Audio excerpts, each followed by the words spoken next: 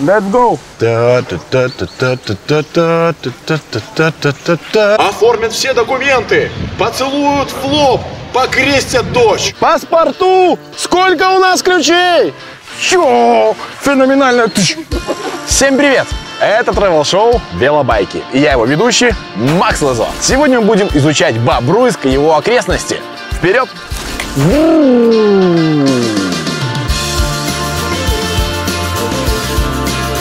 План на сегодня такой. Изучить белорусский Форт Боярд. Научиться танцевать знаменитый танец 7.40. Посетить костел Девы Марии и отужинать в самом атмосферном заведении Бобруйска. Маршрут нам предстоит увлекательный. Не будем терять время. Погнали!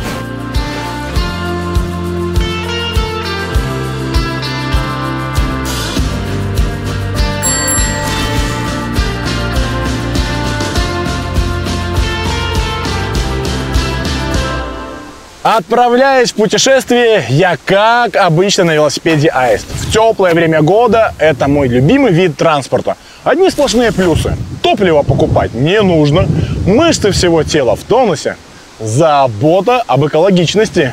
А главное, сколько эмоций и новых впечатлений. Погнали!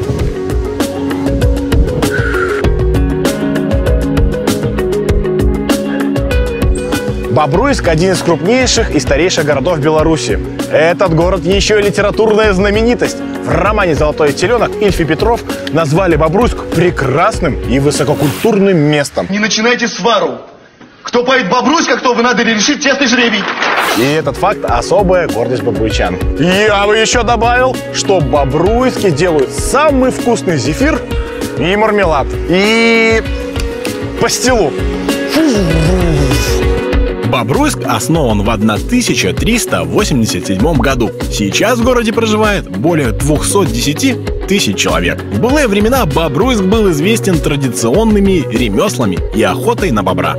Сейчас город славится зефиром и фронтменами группы Би-2.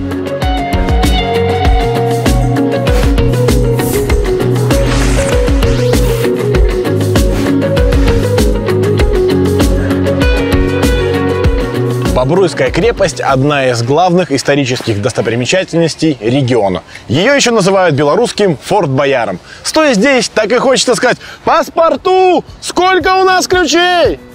Но ключи нам сегодня не понадобятся. У нас есть проводник, который все покажет и расскажет.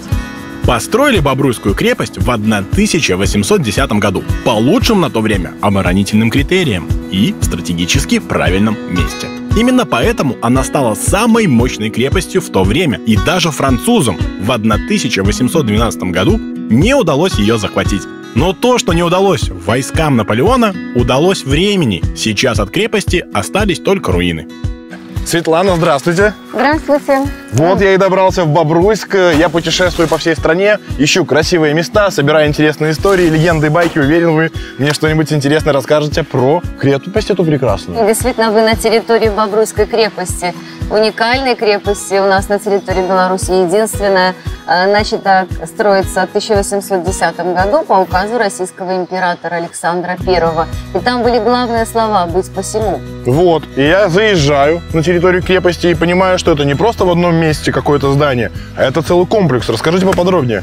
Да, действительно, крепость строилась как крепость, э, укрепления, фортификации, э, еще э, по принципу бастионных крепостей. Крепость начали строить на том месте, где когда-то находился город. Главная линия вала была протяженностью 3 километра Ого. 800 метров. Площадь, которая здесь находилась, всех сооружений 110 гектар. Огромная территория. Огромная просто территория. Скажите, пожалуйста, проезжал мимо, и такое ощущение, что я где-то или в кино, или в сериале видел вот именно вот эти виды. Может быть, здесь что-то снимали? Да, Бобруйскую крепость очень любят. Здесь снимают много фильмов. И фильмы, связанные с э, Великой Отечественной войной, и снимают фильмы, которые связаны с 19 веком, потому что здесь сохранились сооружения, э, построенные по проекту Штауберта, очень известного петербургского архитектора, как дома коменданта, как офицерские флигеля, ну и как же как казармы. А еще в Бобруйской крепости есть легенда. Так. А это случайно не та легенда про Наполеона и его сокровища? Ну, конечно же, да. Расскажите поподробнее, потому что я ее не знаю. Я просто слышал, что Наполеон спрятал сокровища и больше абсолютно ничего не знаю. Расскажите поподробнее нашим телезрителям, вести ли сюда лопаты, когда они приедут путешествовать? Утонул и золото свое потерял. Но э, легенду более красиво описал наш э, земляк Ефраим Севела в своей книге «Легенды инвалидной улицы». Он написал о том, что якобы Наполеон, вот э, он переправлялся, попал в воду, в общем-то заболел, и привели его в корчму к э, одному из евреев. И вот все сидели и смотрели на Наполеона, а он чихал, и никто не пил и не ел. А для корчмаря это было очень плохо. Понятно. Так а скажите, а сокровища по итогу нашли? Есть у них какая-то судьба? Ищут. Еще ищут? Ищут сокровища, говорят, что, может быть, евреи к этому причастны. Но это, да, это история э, многих еще, наверное, литературных произведений, которые будут написаны. Здорово. Давайте тогда прогуляемся по территории, покажете еще что-нибудь интересное, посмотрим э, и послушаем интересные истории. Давайте. Давайте.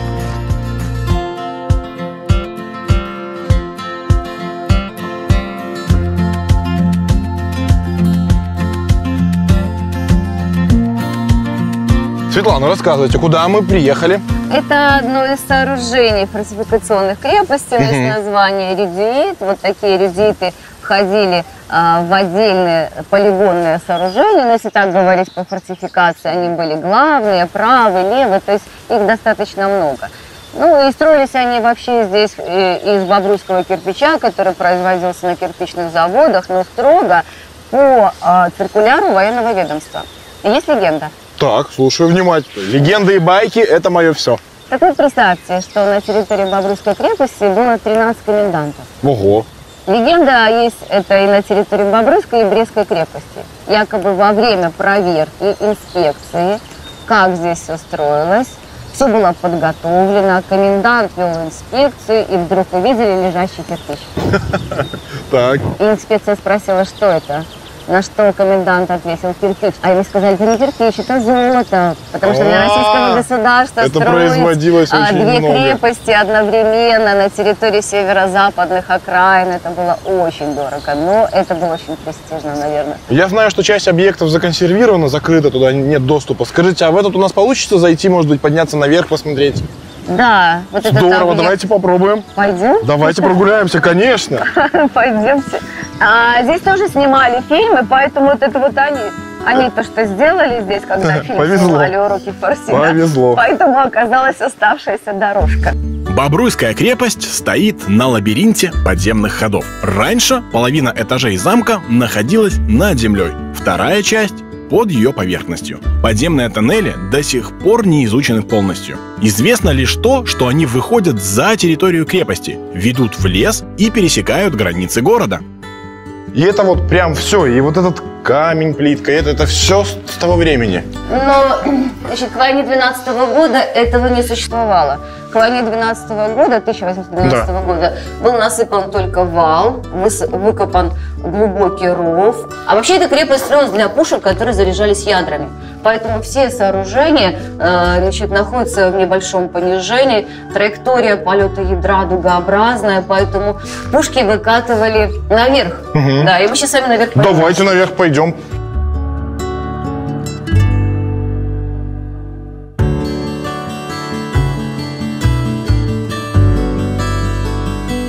Прям сюда поднимались тропами пушки, да, и вот я вижу в разные направления они выставлялись. И вот отсюда уже велась вот эта вся военная оборона. Да, вот э, фортификация того времени была рассчитана, что пушки, которые заряжались э, ядрами, а потом, э, потом с помощью пороха загоралось и вылетало ядро, оно имело дугообразную траекторию и пере- должно было перелететь уже через вал, и, а высотой вал был около 12 метров. Светлана, и, конечно же, после наших с вами историй про сокровища, которые еще непонятно, нашли или не нашли, многие предприимчивые захотят приехать, ребята, именно в Бобруйской поискать. Как вы думаете, на основании истории, которую вы знаете, может быть, есть какая-то область, в которой вероятность найти чуть-чуть больше, чем ноль? Не, ну, конечно, на память всегда можно что-нибудь взять.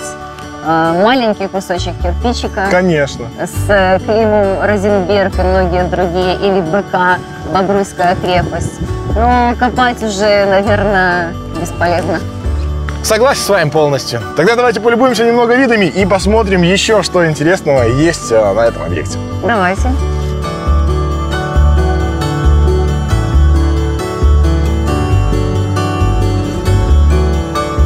Друзья, исследовать окрестности Бобруйска мне будет комфортнее на электровелосипеде. Поэтому я прямо сейчас заменю свой городской на электро.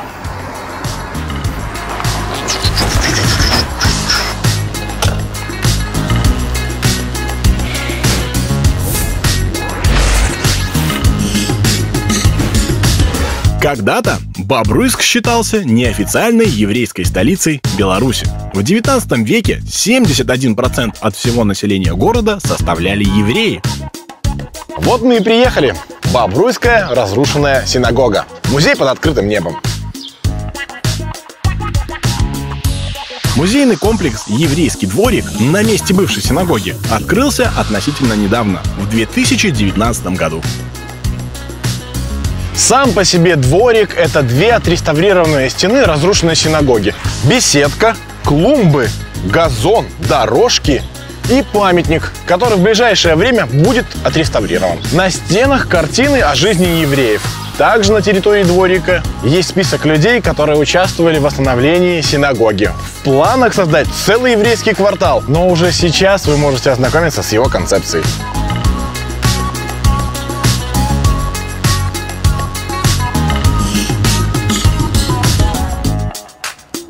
Здесь участники общины воссоздали фрагмент Стены Плача, который находится в Иерусалиме, где каждый желающий может прийти, написать на маленькой бумажке свое желание или на большом листе. Специально для этого здесь есть огромное отверстие, куда вы можете отправить свое желание. Потом волонтеры просто их все вместе соберут и увезут в Израиль.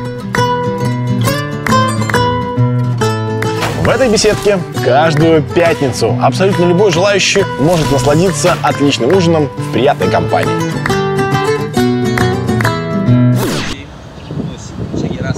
Раз, два, четыре, пять, шесть, семь, восемь. Все легко. Да, прекрасно.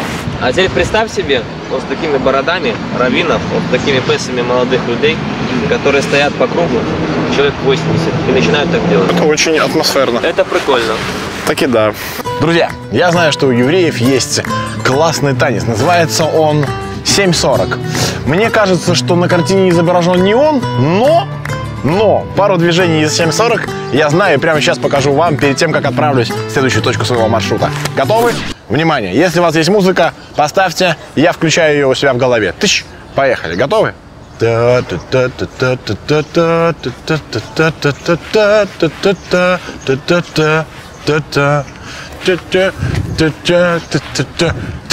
Фух, даже немного устал. Хотя я знаю, что они точно не напрягаются, потому что напряжение – это стресс, стресс – это мало денег, а мало денег – это всегда очень плохо. А мы продолжаем наше путешествие и отправляемся в следующую точку.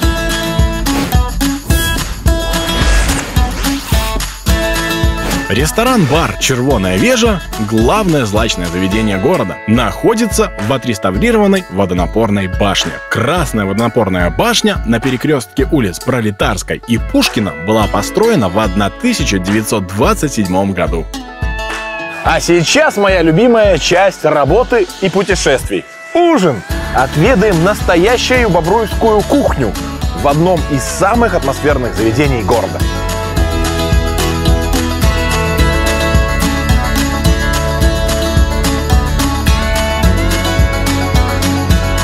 Сейчас в водонапорной башне бар, бильярд, кальянный зал и ресторан. А на четвертом этаже есть ресторан с огромной панорамной крышей. Заодно можно полюбоваться городом. Все то, что нужно для настоящего туриста. А пробовать свой ужин я буду на последнем этаже этой невероятной башни. Покажу вам классные виды и наслажусь прекрасными блюдами. Пойдемте посмотрим, какой прекрасный лифт.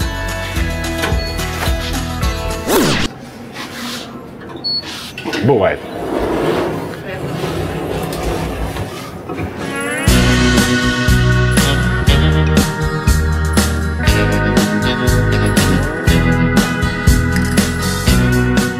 Друзья, к сожалению, произошел форс-мажор. И покушать там, где я так хотел, мне не удастся. Но мы очень креативны и нашли выход из ситуации. Поэтому отведать фирменное блюдо мне все-таки удастся. И сделаю это я не один, а вместе с моим сегодняшним гостем, блогером Владом Финяком. Добрый Привет. день. Не часто мне еду подносят. Ну, мы такие хозяйственные ребята. Угощайся. Можно было две. Пожалуйста, забирай все. И куртку велобайки До свидания. тоже тебе не подарю. Расскажи, пожалуйста, зрителям, которые еще тебя не знают, чем ты вообще занимаешься, про что твой блог? Ну, надеюсь, меня Бобруйский уже многие знают. Я веду свой видеоблог, Так. а, снимаю различный контент. Вообще, парень резкий, меня не всегда камеры Я ловят. понял. Сказал бы сразу, я бы отсел подальше. вдруг. Да, может прилететь немножко. А, Ну, в принципе, занимаюсь аниматорством. У нас своя организация, мы организовываем праздники, а, то есть дарим счастье людям. Вообще было бы, конечно, шикарно, если бы мы сейчас начали кушать. Такой, я потому что я голодный. Сколько у тебя и в каких социальных сетях подписчиков?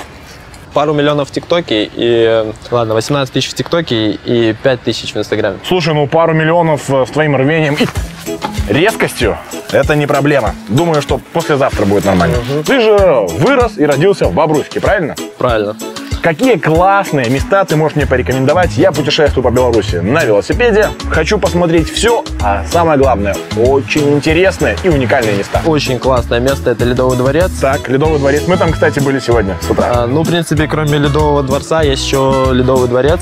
Так, это два Ледовых дворца у вас. Вот очень шикарное место, в котором вы только что были. Там очень классный вид. Сюда можно сводить свою девушку и не делать ей предложение. Расскажи, пожалуйста, я так понимаю, раз ты сюда э, девушке не делал еще предложение, не приходил, да? Ты здесь уже был. Расскажи, пожалуйста, как здесь кухня? Потому что это заведение очень нахваливают. Ну, в принципе, когда кушаешь на улице, это очень, это очень вкусно. Да, это сразу плюс 100 к вкусу. Сразу плюс 100 вкусу, все правильно. Ну, а если зайти внутрь, то на самом деле ресторан очень шикарный. Место отличное. Там даже есть лифт, который поднимается до пятого этажа. По поводу велосипедов, ты вообще катаешься, путешествуешь. Я вот, например, уже несколько сотен километров по Беларуси накатал. Я предпочитаю Ламборгини. Ламборгини. Смотреть на картинках, я так понимаю, да? Пока что. Конечно. Ну, ничего страшного. Тогда предлагаю вкусить приятную пищу и дать свою легкую оценку. Как ты на это смотришь? Только справедливую. Давай, если вкусно, то вкусно. Если не вкусно, то вкусно. Хорошо? Конечно. Отлично. Давайте пробовать, друзья. А, ну, в принципе, вкусно. М- Можем? Или еще вы что-то хотите вкусненькое? Нет. Нет, если у тебя есть еще какие-то во- вопросалы?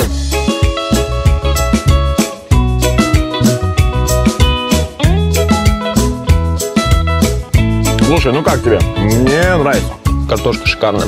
А как ты вообще к картошке относишься? Поля, может, садишь? Плохого не могу сказать про картошку. Слушай, Влад, ну в ТикТоке хорошие цифры. Может быть, э, расскажешь, почему решил перейти в эту сеть социальную? Чего там делаешь поподробнее, чтобы все-таки было понимание?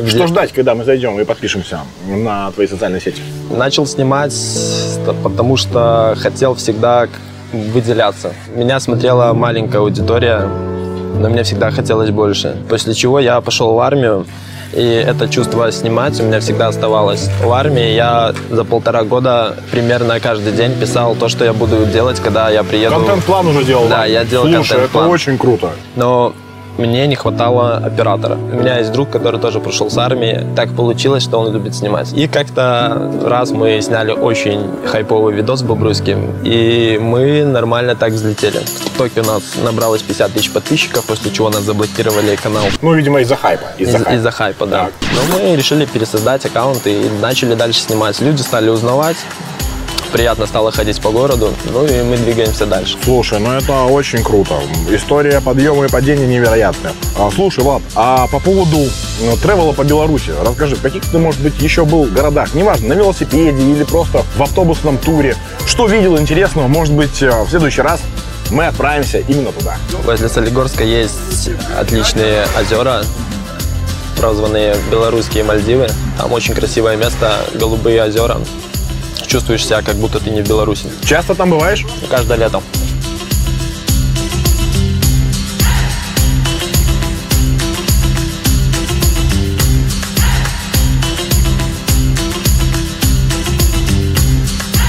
Наше путешествие сегодня скрасил дождь, из-за чего дорога намокла и стала довольно-таки скользко.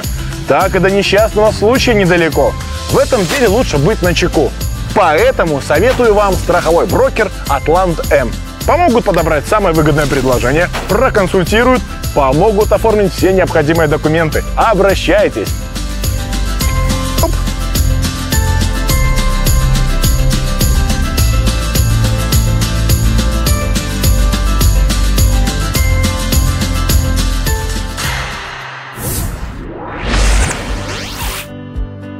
Костел был не только самым высоким, но и единственным кирпичным зданием на Октябрьской улице. От него она и называлась какое-то время Костельной. Возможно, один из самых необычных костелов Беларуси находится здесь, в Бобруйске. Согласитесь, нечасто можно встретить храм без фасада. Вернее, фасад есть, но это классическое пятиэтажное советское здание, заменившее башню. Пристроили его к костелу в конце 60-х. Тогда костел был частично разрушен, снесена стрельчатая башня и притвор. А еще больше интересной информации мы узнаем у работника краеведческого музея Зданович Ларисы. Лариса, добрый день. Добрый день. Рассказывайте, что это за уникальное такое здание? Здание на самом деле очень интересное, имеет богатую историю. Конец 19-го, начало 20 века строительство католических костелов на территории нашей республики, так, которая входила а, в состав Российской империи, было значительно усложнено. Да. Нужно было специальное разрешение. У нас с этим было полегче, потому что здесь находился деревянный костел, но он сгорел при большом пожаре в 1902 году. И уже в 1906 году здесь был построен каменный костел, костел и четырехгранная башня, колокольня э, была увенчана э, высоким шатром, и э, колокольный ярус э, сам был прострелен такими стрельчатыми окнами, Вау. что называется. Но э, вообще строился этот костел на деньги и прихожан, и добровольные пожертвования всех э, жителей города и любых людей, которые имели интерес к этому зданию. И что самое интересное, даже после Великой Октябрьской социалистической революции, которая внесла некоторые изменения в жизнь людей, костел продолжал действовать. Но уже в 22 году из всех храмов были изъяты все религиозные ценности, что католикам Бобруйска не помешало приходить в костел и совершать обряды и крещения, и венчания.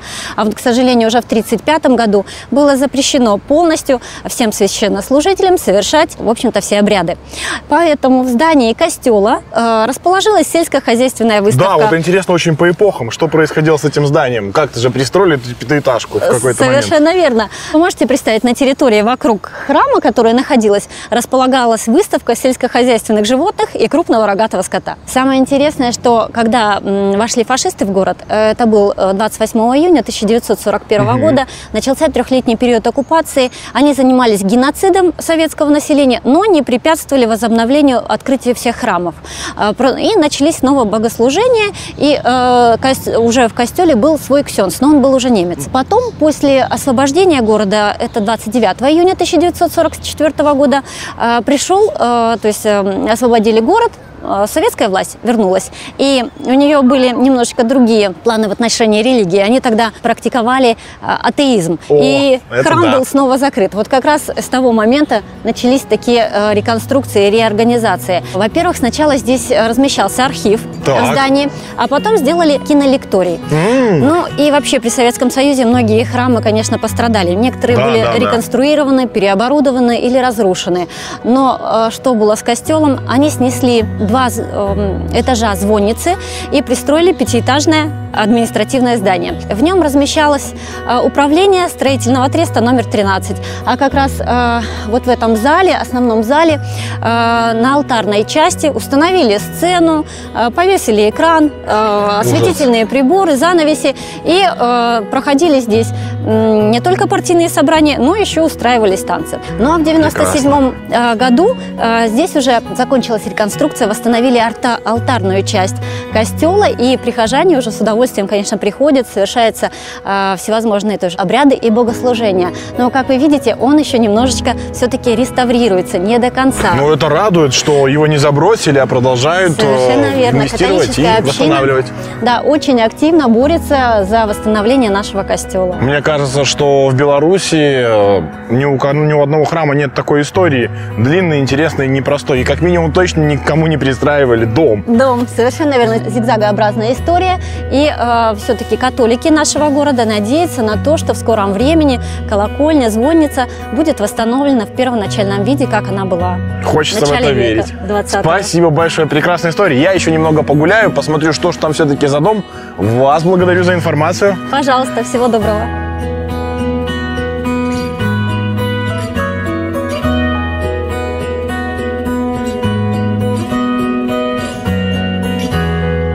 Вот и закончилось мое путешествие по Бобруйску. Я получил столько новых впечатлений. Изучил историю Бобруйской крепости, изучил новый танец, вкусно отужинал и освежился Балтикой 0. Это было travel шоу «Велобайки». И я его ведущий Макс Лузо. До новых встреч.